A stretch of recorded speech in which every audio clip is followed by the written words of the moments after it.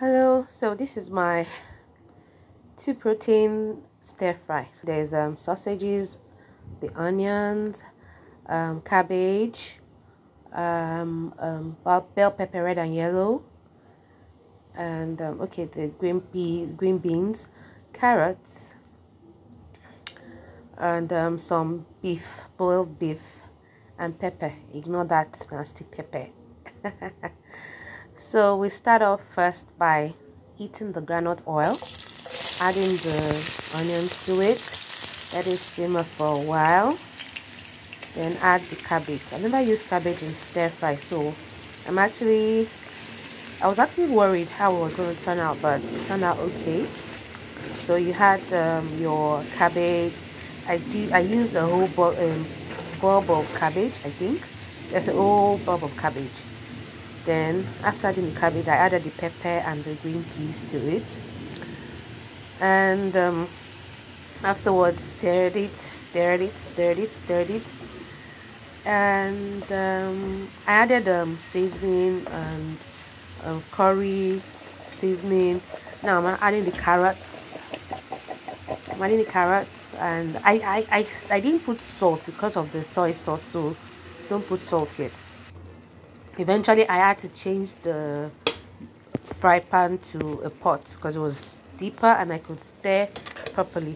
So I added the seasoning the um, rosemary leaves. So I'm adding the sausages now. And um, you can add any seasoning you want. Just make sure that it's tasty. That's it.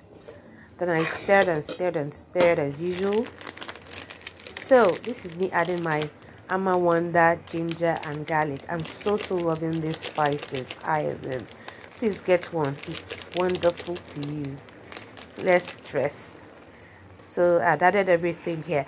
So this is me adding the cut pieces of beef.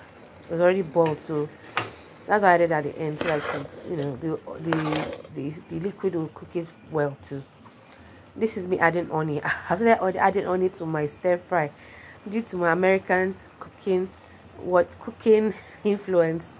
All these TV American TV shows they always have to use sugar brown sugar or onion in it. So I stirred and stirred. This is the final ingredient the soy sauce. I didn't need to use um salt because of this soy sauce. So don't use salt until after you've added your soy sauce that's what I think. Uh at this juncture the steam doesn't let it film properly but it was steaming steaming steaming. Voila this is the end product. It actually was nice with the cabbage. Then using the cabbage makes it more.